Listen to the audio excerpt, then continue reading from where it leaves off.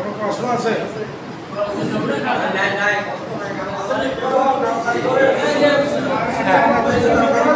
আর একজন ভাই?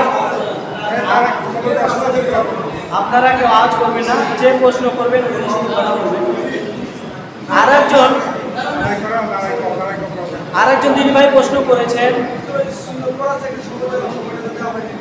আরেকজন দিনী ভাই প্রশ্ন করেছেন কপলাল জুমা সুন্না কপলাল জুমা সুন্না অর্থাৎ জুমার সালাতের আগে কোনো সুন্নাত আছে কিনা আপনাদের শুরু থেকে বলি দলিল সহকারে তাহলে বুঝতে পারবেন আল্লাহ রসুল বলছেন আনাবি কদাদা রাদিয়াল্লাহু তাআলা আনহু قال قال رسول الله صلى الله عليه وسلم إذا دخل أحدكم المسجد فلا يجلس حتى يصلي ركعتين আল্লাহ রসুল বলছেন, ইদা দাখালা, ইদা যখন দাখালা আহাদুকুম, তোমাদের কেউ প্রবেশ করবে আল মসজিদা মসজিদে ফালা ইয়াজলিস।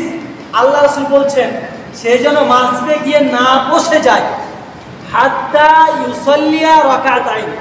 যতক্ষণ পর্যন্ত দুই রেখা সালাদ না আদায় করবে, এখন আপনার আবার এখন আপনার আবার প্রশ্ন আসতে পারে।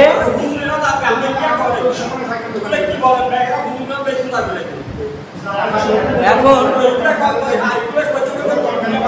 এখন আপনার আবার প্রশ্ন থাকতে পারে। এদিকে আমার দিকে একটু লক্ষ্য করবেন।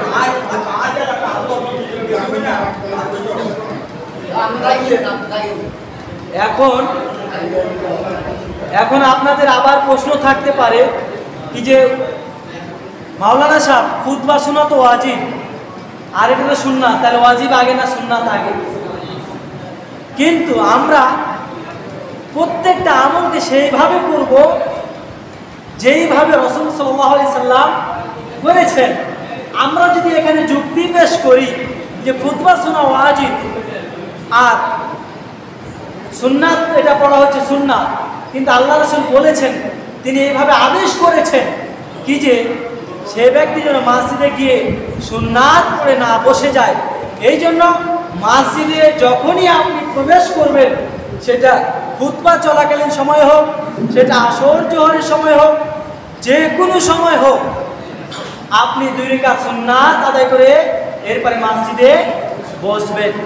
এখন কবলাই জুমা আমাদের দেশে অধিকাংশ মসজিদগুলিতে যে রীতি পদ্ধতি চালু আছে কি যে খুতবার পরে চার মিনিট, পাঁচ মিনিট, দশ মিনিট সময় দেওয়া হয় সুন্নাত পড়ার জন্য। আসলে আপনি যদি লেখাপড়া করেন, কোনো কোরআন এবং হাদিসে কোনো জায়গাতেই নেই আল্লাহ রসুল এইভাবে কোনো আমল করেছেন। যে খুদবার পরে তিনি সময় দিয়েছেন সুন্নাত পড়ার জন্য। কবলাল জুমা, এটা কোনো সুন্নাত নেই। তাহলে আমরা যদি সেই হাদিসের দিকে যাই, রসুল সাল্লাহ আলি সাল্লামের স্ত্রী উম্মে হাবিবা তিনি হাদিস বর্ণনা করছেন عن أم حبيبة رملة بنت أبي سفيان رضي الله تعالى عنها قالت سمعت رسول الله صلى الله عليه وسلم يقول ما من عبد يصلي لله تعالى في كل يوم ثنتي عشرة ركعة في اليوم والليلة উম্মে হাবিবা তিনি বর্ণনা করছেন কোন মুসলিম বান্দা যদি প্রত্যেক দিন। অর্থাৎ দিনে রাতে বারো রাকাত সুন্নাত আদায় করে। গয়রা মাফরুদা, সেটা ফরজ ছাড়া। সেটা ফরজ ছাড়া ছাড়া, ফরজ নামাজ ছাড়া বাকি আরও বারো রাকাত সুন্নাত। কেউ যদি নিয়মিত পড়ে, প্রত্যেক দিনে এই বারো রাকাত সুন্নাত আদায় করে। তিনি বলছেন বান আল্লাহু লাহু বাইতান ফিল জান্নাহ। আল্লাহ রসুল বলছেন, আল্লাহ সুবহানাহু ওয়া তার জন্য জান্নাতে একটি ঘর নির্মাণ করবেন, সুবহানাল্লাহ। এখন, এরপরে আরেকটি হাদিস, একই হাদিস শব্দ ভিন্ন। আল্লাহ রসুলের স্ত্রী উম্মাহাতুল মুমিনিন আয়েশা রাদিয়াল্লাহু তাআলা আনাহা তিনি বলছেন, সামিআতু রাসূলুল্লাহ সাল্লাল্লাহু আলাইহি সাল্লাম ইয়াকুল।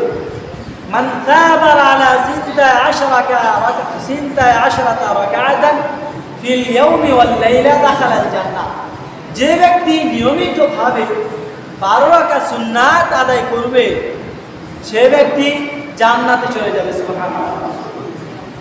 তাহলে সেই বারো রাকাত কখন কখন তিরমিজিতে হাদিসটি বৃদ্ধি করা হয়েছে আর বা আন কবলা বহরি জোহরের সালাতের পূর্বে মনোযোগ দিয়ে শুনবেন। জোহরের সালাতের পূর্বে চার রাকাত সুন্নাত ওয়া বা'দাহা রাকাতাইন। এবং জোহরের সালাতের পরে দুই রেখাত। ওয়া বা'দাল মাগরিবি রাকাতাইন। মাগরিবের পরে দুই রাকাত। ওয়া বা'দাল ইশা'i রাকাতাইন। এবং ইশার পরে দুই রাকাত। ওয়া রাকাতাইন ক্বাবলাল ফজর। এবং ফজর সালাতের পূর্বে দুই রাকাত। এই বারো রাকাত কেউ যদি সুন্নাত আদায় করে, তাহলে সে ব্যক্তি জান্নাতে চলে যাবে, সুবহানাল্লাহ। তো এই বারো মধ্যে আল্লাহ কিন্তু উল্লেখ করে নাই কবলাল জুমা। তাহলে আমরা বুঝতে পারি যে জুমার পূর্বে অতিরিক্ত যে সময় দিয়ে আমরা নামাজ পড়ি, এইরকম রীতি পদ্ধতি নেই। তবে হ্যাঁ ইমাম খুতবাতে উঠার আগে ইমাম মিম্বারে উঠার আগে ইমাম মেম্বারে উঠে নাই। এর আগে যদি আপনি পারেন পাঁচ রেখা, সাত রেখা, দশ রেখা পড়েন পড়েন পড়তে পারেন। এতে নিষেধ নেই। আপনাদের আমি বুঝাতে পারছি কিনা? ইমাম মেম্বারে উঠে নাই। এর এর আগে যদি আপনি মসজিদে এসে পারেন পাঁচ রেখা, দশ রেখা, আট রেখা, পড়েন, পড়তে পারেন। এতে কোনো নিষেধাজ্ঞা নেই। তবে খুতবাতে উঠে খুতবার পরে কবলাল জুমা, অর্থাৎ এর ফরজ নামাজের আগে যে সুন্নাতের আমাদের পদ্ধতি আমরা চালু করে নিয়েছি, এটা রসুলের জামানায় ছিল না, সাহাবিরা এটা করে নাই, রসুল করতেও বলে নাই। আপনাদেরকে আমি বুঝাতে পেরেছি। তাহলে আমরা ইনশাল্লাহ আগে আসার চেষ্টা করব এবং আগে এসে সুন্নাত করে বসে আমরা বসে থাকব। আপনি পারেন দশ রেখা আরও বেশি পড়েন। খুদবাতে ওঠার আগে সমস্যা নেই। আর কারও প্রশ্ন আছে?